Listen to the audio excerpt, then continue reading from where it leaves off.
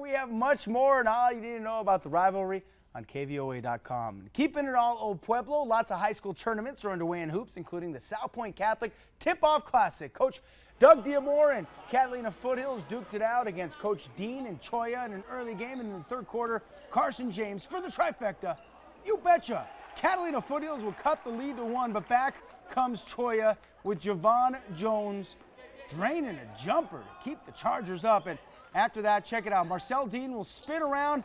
He'll end up finding Josh Sutherland, bailing him out in a bit. Then check him out, going baseline. Nice. But down the stretch, Catalina Foothills will come through when it counted most. That was a nice pass from Jar Carson James, hitting Andy Snurknick.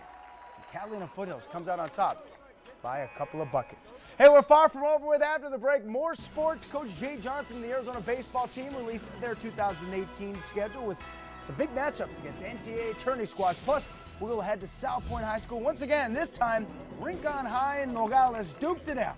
More sports, more energy, more hooping it up. Put her there. Next.